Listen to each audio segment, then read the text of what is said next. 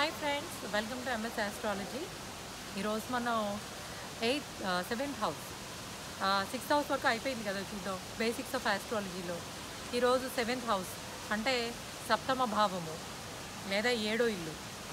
ఈ దీని గురించి తెలుసుకుందాం. ఈ హౌస్లో ఏముంటాయి? ఏవేవి అంశాలను దీనిలో డిస్కస్ చేస్తారు? ఏవేవి చూడొచ్చు? మన జాతక చక్రంలో సెవెంత్ హౌస్ నుంచి ఏవేవి విషయాలను చూడొచ్చు అనేది చూద్దాం.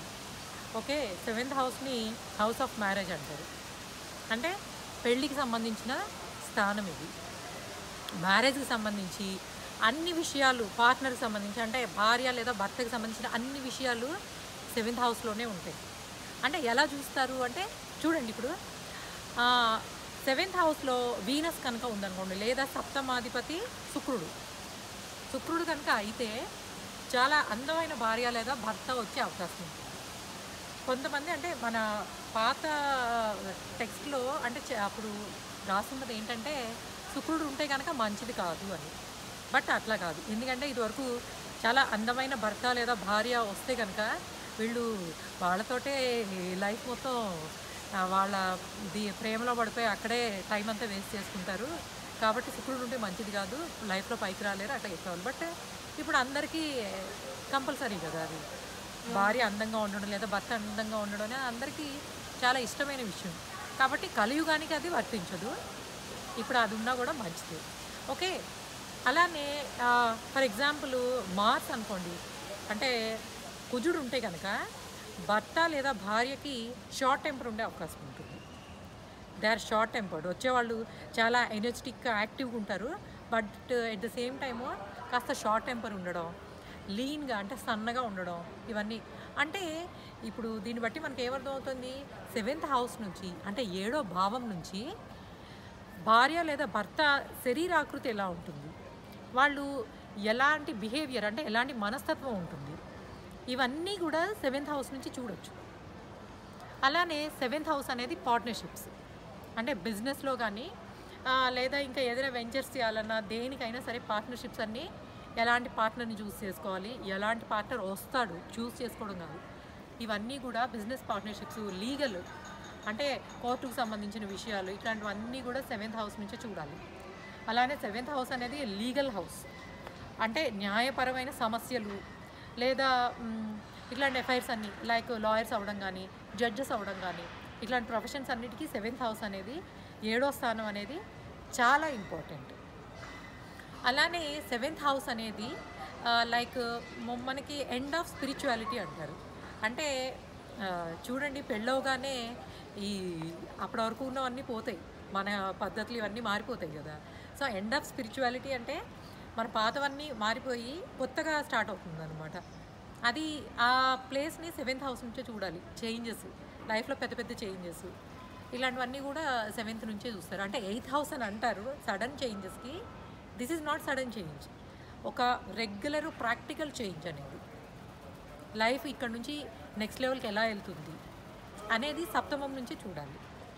అంటే సక్సెస్ కానీ ప్రాస్పారిటీ అలానే మనకి అసలు ఆనందం ఆనందం అనేది కూడా సెవెంత్. ఎందుకు చెప్పండి? మనిషికి అన్నిటికన్నా ఎక్కువ సంతోషాన్ని ఇచ్చేది ఏముంటుంది?